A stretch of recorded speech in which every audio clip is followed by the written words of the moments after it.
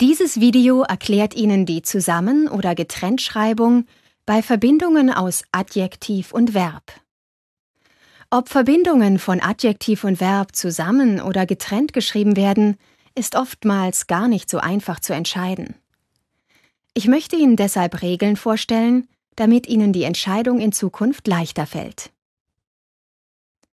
Wenn sich aus einer Verbindung aus Adjektiv und Verb keine übertragene Bedeutung ergibt, werden diese getrennt geschrieben. Wenn aus der Verbindung von Adjektiv und Verb ein neues Wort mit eigenständiger, übertragener Bedeutung entsteht, wird diese Verbindung zusammengeschrieben. Hier ein paar Beispiele dazu. Ein guter Redner kann vor Publikum frei sprechen. Die Verbindung des Adjektivs frei mit dem Verb sprechen wird in diesem Fall ohne übertragene Bedeutung im Sinne einer freien Rede gebraucht, also getrennt geschrieben.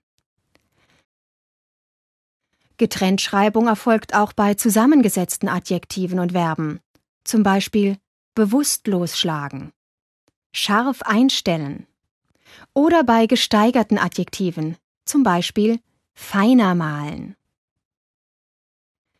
Wenden wir uns nun der Zusammenschreibung von Verbindungen aus Adjektiv und Verb zu. Ein Beispielsatz. Wegen fehlender Beweise muss der Richter den Angeklagten freisprechen. Freisprechen erfährt hier eine übertragene Bedeutung. In diesem Fall erfolgt die Zusammenschreibung der Verbindung aus Adjektiv und Verb.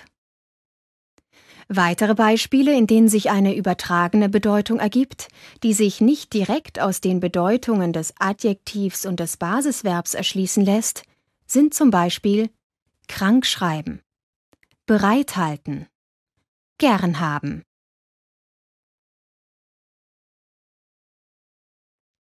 Dann gibt es noch den Fall, dass beide Schreibweisen möglich sind. Adjektiv und Verb dürfen zusammengeschrieben werden, wenn sich das Adjektiv auf das Resultat einer Handlung bezieht. Auch hierzu einige Beispiele.